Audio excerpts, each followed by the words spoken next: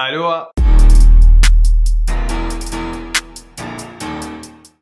J'espère que vous allez bien. On se retrouve aujourd'hui dans une nouvelle vidéo musicale. Je suis un peu absent en ce moment par rapport à d'habitude. J'ai un peu limité le rythme sur ma chaîne, mais je vous assure que je vous réserve des petites surprises pour lesquelles vous n'êtes pas préparés dans les prochaines semaines, donc get ready. J'ai sorti la petite chemise Star Spooky Season, Pumpkin Spice Latte, le sac à main je raconte n'importe quoi. Oh là là. C'est peut-être une des dernières fois que vous allez voir ce set du Bled parce que je suis vraiment en train de vous préparer a real set, a real one à côté dans mon salon. Je préfère vous prévenir, je vous apporte du lourd sa mère. Euh, je suis complètement à l'ouest aujourd'hui mais je vous apporte vraiment du lourd sur ma chaîne. Calme-toi. Je disais, je vous apporte du lourd sa mère sur ma chaîne. J'arrive pas, je peux pas commencer la vidéo, je suis mort de rire. Oh. Moi, je filme pas pendant deux semaines, j'arrive, je suis mort de rire. Non, mais ça va pas du tout. Bref. Passons, avant toute chose, déjà, on est déjà bientôt 30 000 abonnés, wesh. C'est déjà beaucoup. Sur, euh, sur Insta aussi, on est pas mal. Sur TikTok, on a dépassé la barre des 60 000. Enfin, je vois pas trop tout ça passer. Enfin, c'est un peu bizarre, mais bref. D'ailleurs, si vous me suivez pas sur Instagram, je vous invite à me suivre. C'est Kalali22. Si vous ne le faites pas, conséquence. Bref, je suis tout humour aujourd'hui, mais parenthèse close. Aujourd'hui, on va parler de Avamax, comme vous l'avez vu dans le titre de la vidéo. C'est une vidéo que vous m'avez vraiment réclamé pour cette fois-ci, euh, comme celle sur One Direction et celle sur Taylor Swift qui arrive très bientôt. Vous m'avez clairement harcelé dans mes DM pour la sortir. Du coup, je vais enfin parler de Avamax, donc get ready. On va parler de sa carrière, on va aussi parler bah, de ce qu'elle fait aujourd'hui, de son premier album studio et je vais vous donner mon avis à la fin sur tout ce que je pense d'Avamax. Est-ce qu'il est trop tard pour elle pour percer? Est-ce qu'elle a quelque chose vraiment à apporter à la pop music ou pas? Donc voilà, on va discuter de tout ça ensemble. Prenez un iced tea, prenez un thé, un café, prenez des chips, posez-vous, mettez vos écouteurs ou pas, mettez-moi sur votre télé avec ma grosse tête affichée en gros et c'est parti. Déjà, on va commencer par introduire Avamax. Qui est Avamax Si vous ne la connaissez pas, Avamax, de son vrai nom Amanda Ava Kossi, est née le 16 février 1994 à Milwaukee aux États-Unis, dans une famille d'origine albanaise. Elle s'est notamment fait connaître euh, via SoundCloud vers 2016-2017, et c'est en 2016 officiellement qu'elle décide de prendre Ava comme nom d'artiste, qui est son deuxième prénom. C'est là où elle présente donc sur ses euh, plateformes, euh, à savoir SoundCloud, une chanson qui s'intitule Anyone But You. Cette chanson fait pas mal de bruit sur SoundCloud, et la chanson a d'ailleurs été utilisée dans plusieurs vidéos YouTube, donc c'est possible que vous atterrissez dessus, enfin que vous l'ayez déjà écouté plutôt sans vous en être rendu compte. Début 2018, c'est le fameux label Atlantic Records qui décide de signer Avamax. Ils estiment que c'est une grosse signature, qu'elle est très talentueuse et ils croient beaucoup en son potentiel. Le 27 août 2018, elle sort le premier single sous le label Sweet But Psycho, que vous connaissez tous. C'est un succès international, le single s'est hissé à la première place de plus de 20 pays en Europe et il est aussi énormément poussé, euh, notamment par le label, sur les plateformes euh, streaming, mais aussi sur les réseaux sociaux comme TikTok. Le single a eu aussi des succès aux États-Unis, mais il a été plus lent qu'en Europe, on reviendra sur ça d'ailleurs après, ce qui est assez étonnant pour une chanteuse américaine, mais son marché était beaucoup plus ciblé en Europe. Le single s'est tissé à la dixième place euh, du Billboard Hot 100 au bout de 6 mois après la sortie, donc c'est pour vous montrer à quel point elle a connu son apogée aux États-Unis avec ce single euh, longtemps, en fait, après que le single euh, soit sorti. De ce fait, son premier album studio qui devait s'intituler à la base Psycho devait sortir début 2019, à savoir en mars, sauf qu'il n'a fait qu'être retardé puisque l'album, enfin son premier album studio vient de sortir il y a quelques semaines. Après Sweet Boy Psycho, elle a fait que sortir en fait des droplets, enfin ce qu'on appelle des singles sans appartenir vraiment à une era. Donc elle a sorti So Am I, elle a sorti Torn, mais bon ça je vais vous en reparler juste après. Mais toujours pas d'album avant septembre 2020, c'est-à-dire un an et demi après la sortie de Sweet Boy Psycho, ce qui est énorme. Donc après vous avoir présenté dans les grandes lignes qui est Avamax, euh, je vais maintenant vous parler de son début de carrière instable, de son art, de qui elle est, de pourquoi est-ce qu'on n'en entend pas plus parler, de pourquoi est-ce que vous en avez jamais entendu parler, ça se trouve, et on va parler de tout ça tout de suite. Alors déjà, faut savoir que Avamax, son but premier, son objectif premier, c'est elle qui le disait dans les interviews, euh, lorsqu'elle est arrivée dans l'industrie musicale mainstream, c'était, je la cite, de ramener la pop. Objectif très simple. Dans une ère euh, du hip-hop, dans une ère de la trap, c'est vrai que dire que tu vas ramener la pop, sachant que personne te connaît, c'est quand même un gros gros objectif. Bon, Lady Gaga l'a fait dans les années 2010, voilà, mais ça vous montre euh, aussi le profil artistique de Ava, c'est-à-dire que c'est vraiment une pop star et clairement elle a envie de euh, faire de la pop, que sa pop puisse fonctionner et qu'elle puisse en inspirer. Donc à proprement dit, c'est vraiment, elle veut vraiment créer de la pop et pas, euh, c'est pas une chanteuse qui va faire un style de musique qui va finalement devenir populaire. Elle l'a clairement dit, elle a clairement assumé. Moi, je veux faire de la pop, je fais de la pop et je veux ramener la pop dans le secteur musical, dans le milieu musical pour que ça gagne plus d'influence comme avant. Alors, après la sortie de Sweet But Psycho qui a vraiment été la percée, je dirais, d'Avamax. D'ailleurs, c'est assez drôle parce que vous devez vous dire, bah, si elle a percé avec Sweet But Psycho, pourquoi te demander est-ce qu'il est trop tard pour elle pour percer? Je m'expliquerai après dessus. Après ce single, elle a sorti que des singles euh, pleins pendant tout 2019, début 2020, parce qu'en fait son label voulait trouver euh, une sonorité sur laquelle suivre pour euh, sortir son premier album studio. Suite au succès énorme de Sweet But Psycho, qui a d'ailleurs plus d'un milliard de streams sur Spotify, le label a voulu surfer sur un second single immédiatement, sauf que bah, comme vous allez le voir, ça n'a pas marché. En mars 2019, donc c'est assez longtemps après la sortie de Sweet But Psycho, elle sort So Am I, ce qui devait être le second single euh, de l'album Psycho qui devait sortir le même mois.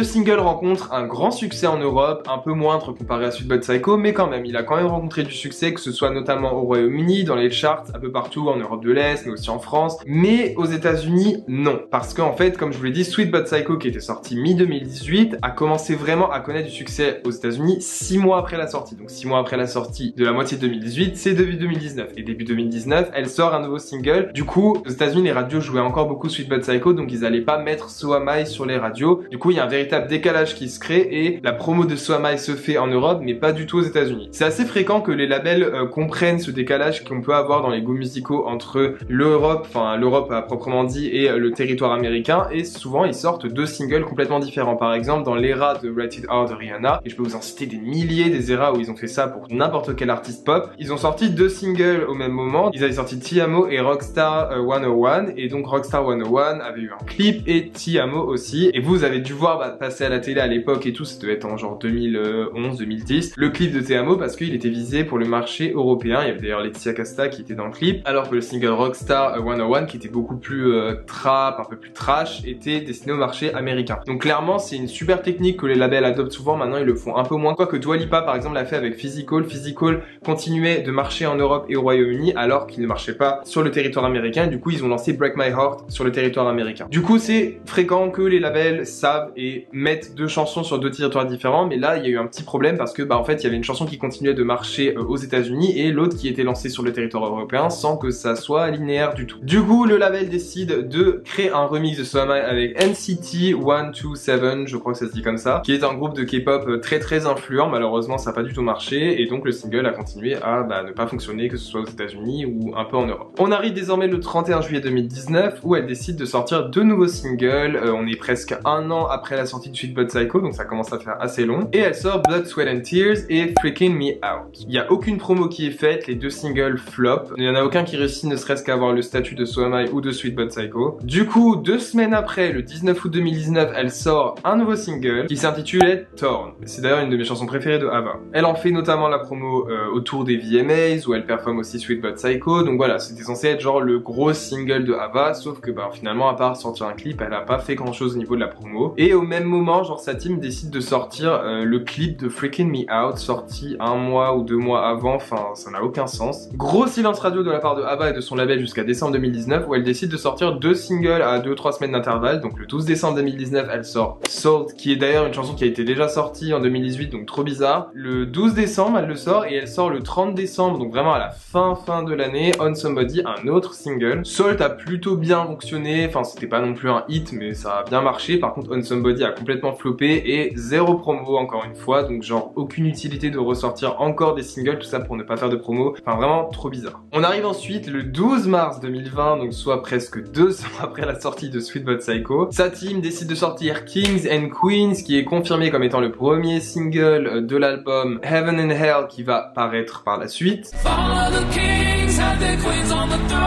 On voit des paroles un peu plus matures, elle sort le clip qui va avec, il y a pas mal de promos qui se fait sur TikTok, sur les réseaux, moi je voyais passer les promos de Kings and Queens à l'appel pendant le confinement, donc il marche plutôt bien et notamment au Royaume-Uni, vu que c'est vraiment un des marchés où elle est le plus influente, le single se hisse à la 19e place du classement, enfin des charts euh, britanniques. Donc là nous sommes carrément à deux ans de sortie après la euh, sortie de Sweet But Psycho et Ava a sorti 8 singles. Petit update en direct du montage, euh, Ava a sorti en réalité 9 singles et pas vite parce qu'elle a sorti aussi Who's Laughing Now qui figure sur son premier album studio le 30 juillet 2020, donc après Kings and Queens. Voilà. Dont 5 qui n'ont pas marché si on enlève tous les singles, sauf bah du coup ceux qui ont marché c'était Sweet But Psycho, So Am I et Salt. Donc ça veut dire que entre le début de l'ERA et l'ERA, on a eu 8 singles, c'est gigantesque, dont certains qui ne sont pas sur l'album, certains qui y sont, enfin en gros le but c'était vraiment pour le label de trouver une sonorité et en fait ils voulaient aussi recréer le succès de Sweet But Psycho sauf que ça n'a pas marché. Et ce que je comprends pas, et ça c'est une des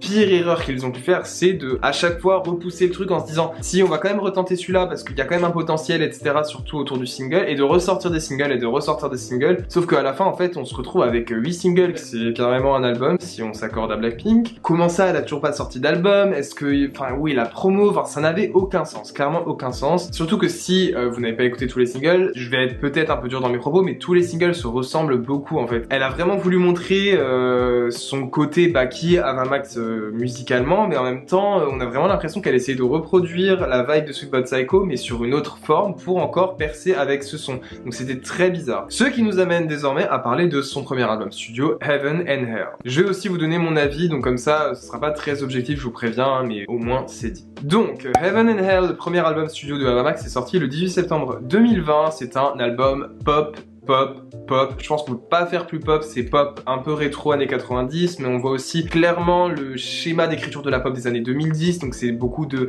empowerment, c'est beaucoup de... Je parle de mes relations passées, je parle de rupture, voilà, c'est tout ce qui tourne autour du personnage de Ava Max, et on voit clairement ses influences majeures, donc Lady Gaga, Madonna, Britney Spears, euh, Christina Aguilera, enfin voilà. On voit clairement que c'est du euh, même Katy Perry 2.0, enfin c'est clairement ses inspirations, et ça se voit, et elle s'en cache pas du tout d'ailleurs. Donc c'est bien pour danser, c'est très catchy, voilà, c'est pour ça que vous voyez beaucoup de challenges sur TikTok parce que c'est entraînant, on se souvient du rythme, on se souvient des paroles, mais euh, il y a aussi quelques petits euh, points négatifs. Alors déjà, le concept de Heaven and Hell, c'est qu'il y a une side A et une side B. Ça veut dire que c'est comme vous savez les vinyles là de base, t'avais genre une partie, euh, une face et un pile. Et en gros, bah t'avais pas les mêmes chansons sur la face et la pile. Je sais pas comment ça s'appelle en français, mais bon bref, c'est side A, side B en anglais. Carly Rae Jepsen aussi qui a sorti un album en faisant ce concept. Sauf qu'en fait, elle a sorti tellement de singles qui apparaissent pour la majeure partie sur l'album que si par exemple vous mettez la side B, donc Hell, vous n'avez que 4 nouvelles chansons, sachant qu'il y en a 15 au total, mais vous connaissez déjà au moins la moitié des chansons parce qu'elle avait déjà sorti plein de singles. Donc déjà ça, je trouve pas ça super logique, parce que je me dis, bah tu sors un album, on connaît déjà presque toutes les chansons. En plus, je me suis dit vraiment, j'écoute tout de A à Z, on verra. Je trouve que side A, side B, ça n'a pas de sens, parce que des fois j'étais en mode, mais genre je pensais vraiment que side A, Heaven, ça allait être donc paradis, être de la pop hyper poppy, hyper genre euh, bubblegum pop, et finalement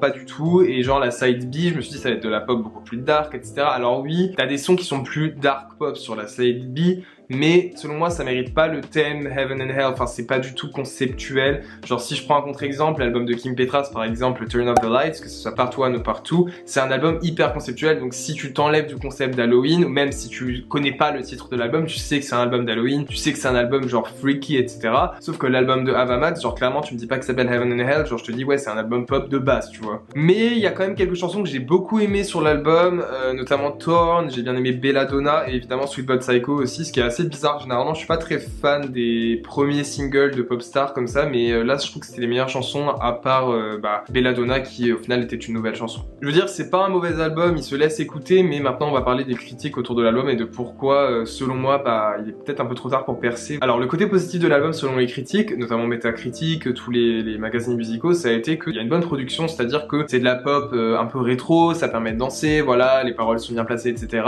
Mais concernant les paroles, le travail est très faible, d'où le fait qu'elle galère aux États-Unis alors qu'elle est américaine. Moi, je pense vraiment qu'elle est européenne, mais pas du tout. Parce que euh, aux États-Unis, il faut savoir que c'est un marché qui est certes, c'est un marché très compliqué, enfin pas si compliqué que ça à comprendre, mais en termes de musique, en fait, les États-Unis, ils veulent de la pop ou des paroles plutôt travaillées. C'est pour ça que Taylor Swift a du succès, même si elle fait de la pop, ses paroles sont toujours travaillées, c'est toujours un peu suggestif. Euh, c'est pour ça que Gaga a aussi beaucoup de succès. Et en fait, tout ce qui est trop simple au niveau des paroles, tout ce qui est trop childish, c'est-à-dire enfantin, ça ne fonctionne pas aux États-Unis parce que bah forcément c'est un pays anglophone donc ils s'attardent beaucoup plus aux paroles. C'est pour ça que Little Mix ont du mal aussi à verser aux États-Unis. C'est pas que parce qu'elles sont mal promues là-bas, parce que déjà le mot Little Mix c'est trop enfantin en fait comme titre pour passer aux États-Unis comparé à un nom comme Fifth Harmony qui fait plus genre, vous voyez ce que je veux dire. Donc c'est ce qui lui été reproché pour l'album et ce qui lui aussi reproché c'est le fait que toutes les chansons se ressemblent beaucoup en fait. Genre elle a clairement essayé de faire euh, quelque chose de très cohérent mais en fait il y a une différence entre faire un projet cohérent et un projet qui se ressemble. Donc ça veut dire que toutes les chansons pour moi c'est vrai qu'elles ont la même structure, couplet, pré-refrain, refrain, couplet, pré-bridge, couplet, pré-refrain, enfin, enfin vous voyez c'est tout le temps la même chose et c'est un peu agaçant et on en a un peu marre de l'écouter l'album je trouve.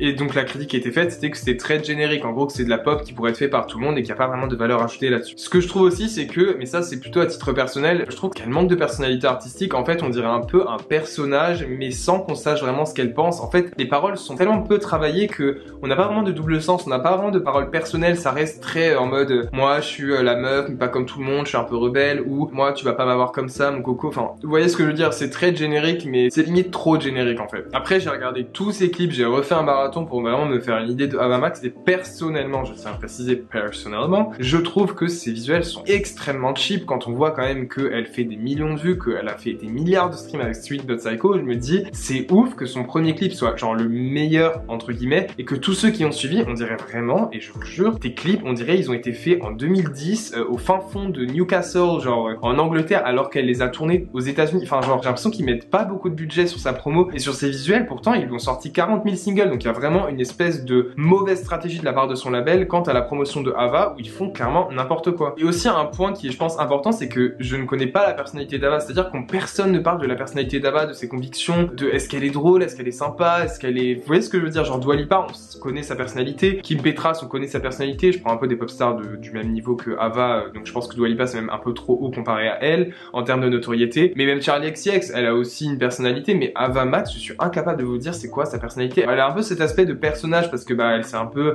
inspirée, vous voyez, genre des, des chanteuses pop des années 80-90, et forcément c'est un peu cet aspect très personnage, mais du coup il manque quelque chose, vous voyez ce que je veux dire. En fait le problème d'Avamax, je pense que je vais vraiment mettre le point là-dessus, c'est qu'elle a voulu faire du Avamax et qu'on se dise ah bah avec tous ces singles elle a créé un univers donc on se dit tiens ça ça me fait penser à du Avamax vous voyez ce que je veux dire? Qu'elle se crée sa propre sonorité et sa propre chanson. Le problème c'est que vu que toutes ces chansons se ressemblent et qu'elle a pas pris de risque en fait en sortant tous ces sons bah du coup on a l'impression en fait que c'est pas faire du Avamax c'est juste bah elle ne sait faire que ça en fait. Elle a aucun univers artistique euh, enfin son univers artistique est très limité et ça promet pas pour la suite. Donc je comprends qu'il y ait plein de gens qui est complètement laissé de côté qui se sont dit bah attends elle a sorti Sweet But Psycho et après elle sort des chansons qui ressemblent comme deux gouttes d'eau au truc. Bah vas-y tant pis tu vois. Parce qu'il faut pas oublier que c'est le début de sa carrière et le but au début de ta carrière c'est qu'il faut que donnes direct. Donc quand t'as un gros hit comme ça faut toujours surfer sur ton hit. Donc il faut sortir un truc dans la vibe du hit que t'as sorti mais en montrant plus ta personnalité artistique en montrant quelque chose de plus risqué. Si tu sors quelque chose qui est complètement similaire comme So Am I par rapport à Sweet But Psycho bah effectivement les gens vont se dire bah oui bah elle sort les mêmes trucs mais c'est un peu ennuyant tu vois. Et des fois ça peut fonctionner. Je pense à Yana Nakamura elle sort souvent les mêmes chansons pourtant ça fonctionne. Vous voyez c'est un peu injuste. Il y a pas vraiment de raison pour le succès vous voyez ce que je veux dire. Genre je peux pas vous mettre un mot pour vous expliquer pourquoi Ava Max connaît un succès moindre aux États-Unis, ne connaît pas le succès tel qu'elle devrait avoir partout, mais c'est parce que pour moi il y a une mauvaise stratégie de la part de son label déjà de sortir plein de singles et parce qu'elle n'était pas encore assez ancrée dans un marché précis pour sortir des singles qui ressemblaient fortement à Sweet But Psycho. Ce qui nous amène désormais à parler de ses futures perspectives de carrière, mais aussi à euh, répondre à la question est-il trop tard pour elle pour percer? Alors pour moi oui et non. Est-ce que ça vous étonne? Non parce que je suis toujours indécis, mais je pense que Ava continuera d'avoir du succès moindre certes, beaucoup plus en Europe qu'aux États-Unis, mais je la vois pas être euh, une artiste à succès avec des albums. Je la vois sortir des singles qui peuvent marcher, qui peuvent percer sur TikTok, qui peuvent percer sur les réseaux, mais je la vois pas sortir des albums et qui puissent être euh, nominés au Grammy, vous voyez ce que je veux dire? C'était quand même une grosse signature de Atlantic Records, qui est quand même un gros label, donc je pense qu'ils ont pas été bêtes au niveau de la signature de Ava, mais j'ai l'impression vraiment que bah il y a eu des gros problèmes avec les délais de son label, tout a été reporté, et j'attends de voir qui est vraiment Ava Max, parce que clairement maintenant ce que je vois c'est que j'ai l'impression de voir la même chose tout le temps et j'ai pas l'impression qu'elle puisse euh, faire autre chose que de la pop pop trop générique, il n'y a pas vraiment de valeur ajoutée en fait. Après c'est pas impossible qu'elle nous surprenne et qu'elle nous crée vraiment quelque chose de très osé, de très différent avec son prochain projet, puisqu'elle a toutes les cartes en main pour le faire, elle a quand même beaucoup de gens qui la connaissent maintenant dans la pop, la preuve je fais une vidéo sur elle. Le problème c'est que elle était pas assez ancrée dans l'industrie dès que Sweet But Psycho est sorti, parce qu'il y a plein de gens qui connaissent sa chanson mais qui sont incapables de vous dire qui la chante. Parce que ça n'a pas non plus buzzé autour de Ava elle-même. Et c'est ça je pense la grosse erreur que le label a fait, c'est qu'au lieu de capitaliser sur Ava, ils ont voulu capitaliser sur les sonorités autour de Sweet But Psycho. Et du coup malheureusement bah, ça lui a causé du tort parce que dans la pop, pas oublier que l'image c'est important et qu'on a besoin autant de l'image de l'artiste que de la musique que l'artiste va sortir. Donc pour moi, une des solutions actuelles, ce serait qu'elle fasse un duo, qu'on apprenne plus à la connaître et j'aimerais bien voir de comment elle se débrouille en duo, en collaboration, mais je sais pas du tout si c'est la direction artistique qu'elle va prendre. Mais j'ai hâte quand même de voir parce que je trouve qu'elle chante quand même bien et elle a quand même des sons qui sont bien sur son album. Je trouve qu'il y a quand même du potentiel autour de tout ça et la chanson Belladonna, elle est clairement, elle est trop bien. Enfin, je veux dire, c'est une bonne chanson pop donc euh, voilà, c'était mon avis sur Avamax. J'espère en tout cas que j'ai pas été trop dur dans mes propos, mais c'est juste que oui, effectivement, je pense qu'il est trop tard pour elle pour percer, qu'elle ne deviendra pas une pop star énorme. Elle aurait pu le faire. Malheureusement, il y a une mauvaise technique de label, stratégie de label, et bien sûr les délais. En fait, il faut pas que t'attendes un an ou deux ans avant de sortir un album. Quoi, tu sors pas un premier album deux ans après ton premier album. Et qui fait ça? Personne. Et c'est ça la plus grosse erreur qu'elle a fait. Voilà, en tout cas, j'espère que la vidéo vous a plu. N'hésitez pas à me dire en commentaire si vous êtes d'accord ou pas avec moi. N'hésitez pas à me donner votre avis sur Avamax. On se retrouve très bientôt pour une nouvelle vidéo. Donnez-moi des recommandations, je les lirai toutes, y a pas de souci. Je vous fais plein de bisous et je vous dis à bientôt. Peace